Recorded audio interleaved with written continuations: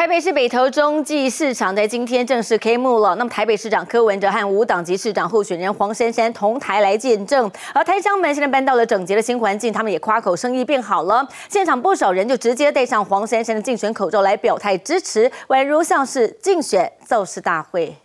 每一天的生意，哦，强强棍呐，真的要好好感谢。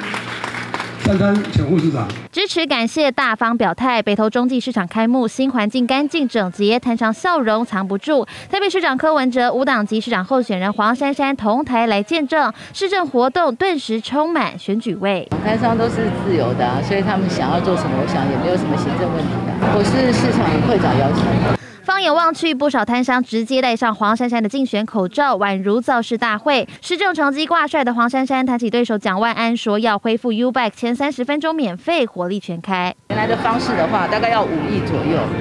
重点在于，这个城市已经进步了八年，怎么会有人想要退步到当年的？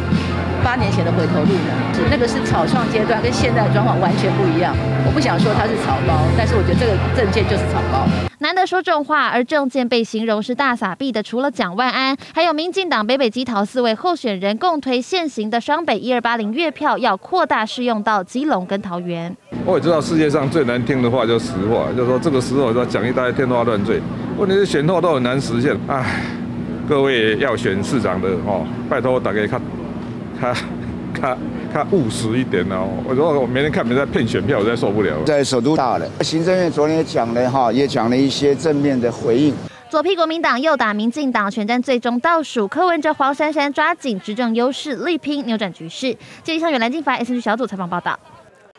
不过也真的是让大家瞠目结舌，这样的发音呢是来自于国民党台北市长候选人蒋万安之口。因为这两天呢，连续来他受访时候都口误，他说错话了，像是把刚这瞠目结舌说成了瞠目结舌。好，另外在回应时事的时候呢，自诩尊重媒体的许，他说成了自意，结果因此遭到陈对手陈时中反酸了，说他可能是在戏骨待太久了吧。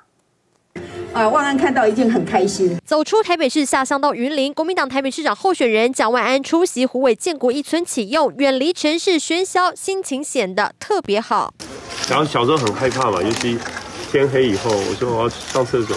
侃侃而谈小时候趣闻，但七号、八号讲完一连两天，不知道是不是选战压力实在大，回应问题口误连连。我们这种抹黑的方式跟手段哦，真的令人瞠目结舌。前联电董事长曹新成质疑自己在戏骨律师经验只是打杂做文件，蒋万强力反击，但仔细听，蒋万把瞠目结舌的瞠念成糖。而同样的问题，七号蒋万在立法院回应时事也发生。过，民进党自意尊重媒体，尊重言论自由。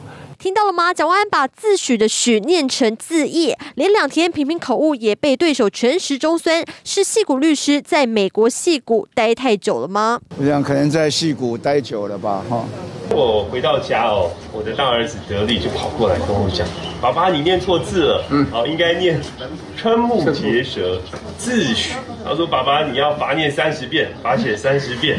哦，然后他还特别告诉我说：爸爸犯了错。”不要怕，好，改正就好。蒋万安发音错误，让儿子也傻眼纠正。随着选战进入最后关头，蒋万安抢救选情前，也得先抢救国文造诣。借台北综合报道。